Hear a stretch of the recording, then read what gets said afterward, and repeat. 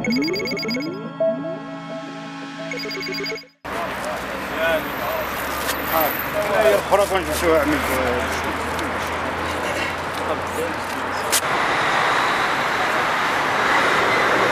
الله الرحمن الرحيم والصلاة والسلام على أشرف المرسلين سيدنا محمد وعلى آله وصحبه أجمعين. بداية كنشكرك الأخ يوسف على هذه التلبية الدعوة. وعلى التغطية ديالك لهذه الوقفة الاحتجاجية الإنذارية اللي نظمها الاتحاد العام الشغالين بالمغرب قطاع نقل المستخدمين. نعرفكم برأسي آه، الأخ عزيز شلياح الكاتب العام للمكتب النقابي لقطاع نقل المستخدمين المنضوي تحت لواء الاتحاد العام الشغالين بالمغرب. آه، هذه الوقفة جاءت بناء على عدة إكراهات التي يتخبط فيها قطاع نقل المستخدمين. آه، من بينها مشكل ديال الغازوال وهو مادة حيوية. مادة اللي حنا كنشتغلوا بها كقطاع النقل المستخدمين على أن مؤخرا لاحظنا ارتفاع المهول في هذه المادة هذه نظرا لأن قال لك آه، الحكومة ما قدرش تعالج هذا الملف. هذا هو ملف يعني يعني خصو تدخل في الحكومة في أسرع وقت وإلا سنضطر لخوض وقفات. كذلك أننا مجبرين باش نديروا إضراب لأن هذه طريقة الشغال لا تتناسب معنا. آه النقطة الثانية الإخوان هو أن مشكل ديال ولوج المهنة. هو مشكل يعني يعاني منه الجميع خصوصا في مدينة طنجة لأن آه، بتاريخ 2 نوفمبر 2020 آه، انعقد واحد اجتماع بمقر الولاية طنجة تطوان الحسيمة بحضور بعض الهيئات المهنية الممثلة لأرباب النقل. كذلك آه، المشرفين على هذه المحضر أو الاجتماع هو رئيس الشؤون العامة الاقتصادية كذلك ممثل الأمن الوطني جهاز الدرك الملكي. وتتخذ واحد القرار وانه قرار إحداث خمسه مركبات على الأقل للولوج إلى المهنة. وهذا قرار يخدم أجندة خاصة ولا يخدم المصلحة العامة لأن إحنا عندنا واحد مجموعه السائقين مهنيين أنهم عندهم طموح وعندهم يعني بغاو أنهم يأسسوا شركات ديالهم. طبعا لأن ما يمكنش أن تفرض عليه أنه يجيب خمسة لأنه هو أصلا السائق مهني يعني الكلفه غتجي أصعب. ربما بكريدي طبعا بكريدي وغيستافد من المشروع. ديال سيدنا الله ينصرو اللي عطى مشروع انطلاقه للدعم الشباب دعم المقاولات الصغرى 2% والإخوة مجموعة الإخوة اللي هما حبوا الفكرة ديال المقاولات الصغرى وبادروا في هذه العملية ومشاو أنهم أسسوا الشركات ديالهم ولكن تفاجؤوا بالأخير وأن توقيف الرخص والتوقيف ليس له سند قانوني. لأن طبعا. كما كنلاحظوا هذا المحضر اجتماع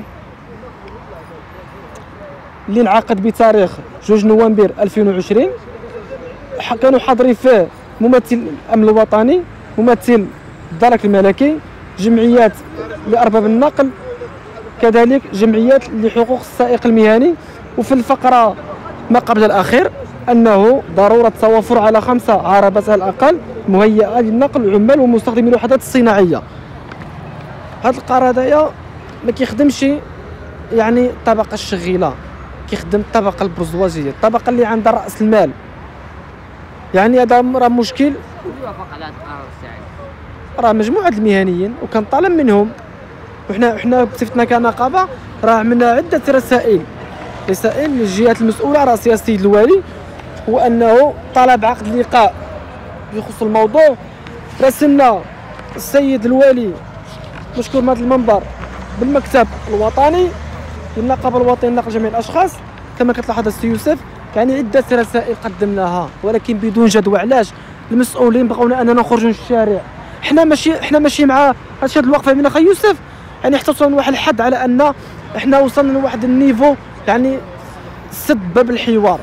لأن بالحوار كتحل جميع المشاكل ولكن نطالب بهذا المنبر الجهات المسؤولة من طرف على رأسهم السيد الوالي فتح باب الحوار وحلول المشكل المشكل ديال الرخص وإلا سنضطر لخوض مجموعة من الحركات النضالية المشروعة وكذلك راح حنا مقبلين على نديروا إضراب.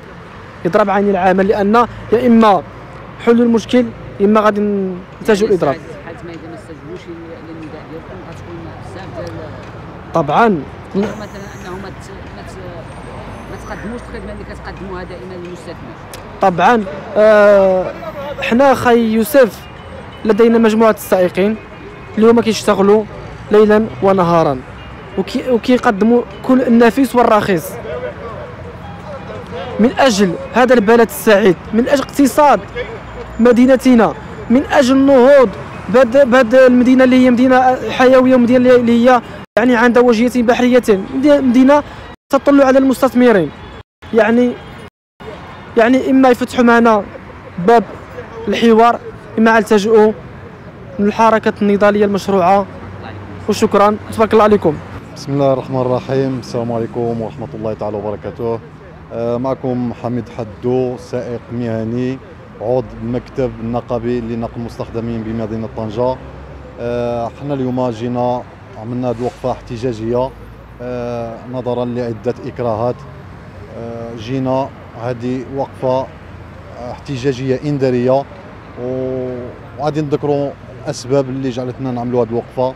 من بين هذه الأسباب هذه كاين آه، كاين يعني ارتفاع الصاروخي لمادة المحروقات وهذا كيأثر سلبا علينا إحنا في قطاع النقل المستخدمين لأن المادة الأ- عندنا مادة أساسية يعني اللي كنخدموا بها هو الغازوال. كاين إكراه إكراه د- يعني د- يعني السير والجولان اللي كنعانيو منه كذلك وكنجدوا السلطات من هذا المنبر هذا. يعني شفنا واحد الحل يعني ال- بحال المنطقة لا زون فرونشي يشوفوا يعني يكون عندها باب ثاني موازي للباب الأول. لأن ما يمكنش يعني واحد 3000 مركبة ولا 2500 مركبة اللي كتكون في وقت الذروه يعني مع الدخول الزوج. في وقت متزامن طبعا. من طبيعة الحال طبيعة الحال. آه، ما ما يمكنش غادي باب وحدة غادي تستقطب هذا الكم الهائل في ساعة واحدة اللي هما كيكونوا أغلبية الشركات عندهم توقيت واحد اللي كيكون الدخول الزوج د النهار و6 الصباح والعشرة د الليل. هذا يعني جول الشركات اللي كاينين في لازون فرونش كيشتغلوا في نفس التوقيت.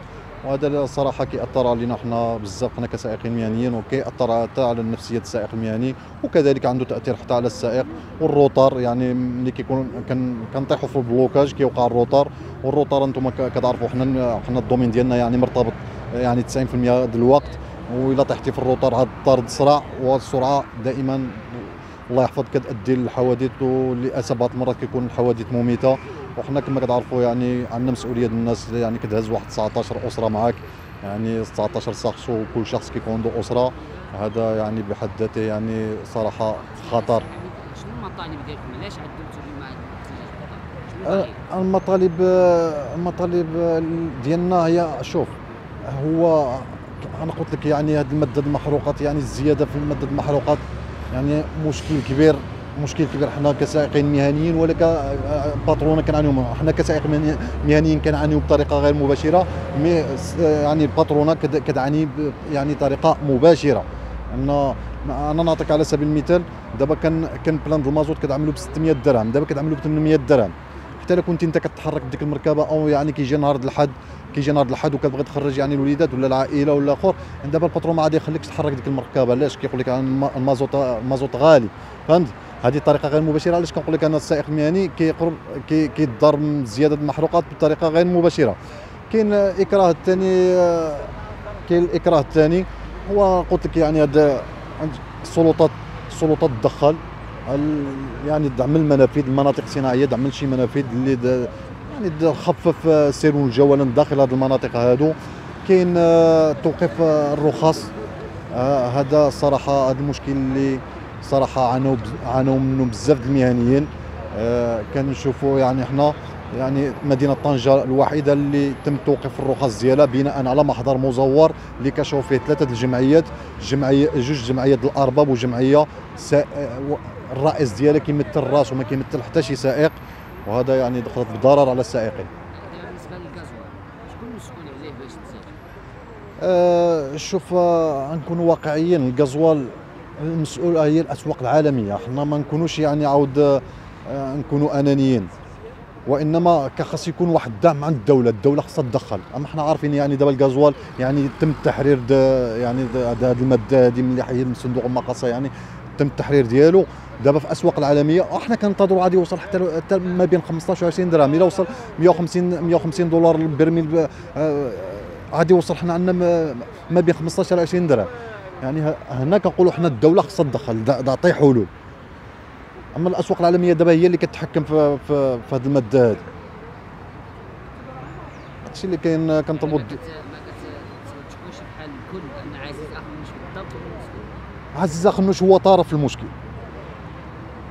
لأن علاش هو هو يعني هو نقولوا يعني باترون د د الشركة د ضروري غادي يكون طرف المشكل وضروري غادي يكون هو متهم. لأن القضية د 17 مليار د الدرهم هي اللي خلت عليه الشبهة وغادي تبقى غادي تبقى هاد الشبهة تبعه إلى الممات لو كان لو كان كاين الشفافية وكاين المصداقية الشعب غادي يشوف يعني الدولة ديالنا ما قادراش من اللي كنشوفوا حنا كتمشي أرباح غير قانونية وكنمشي من جيوب الشعب. لهذا الشعب باش كعا وكامل كلشي خرج يعني كيتظاهر وباقي نشوفوا الله يحفظ الأسواق. والله يرحمنا بالمطر. أما لما الا ما طاحش المطر باقي نشوفوا شي حاجة زايدة هذا الشيء غير الله يحفظ والله بارك الله فيك شكرا.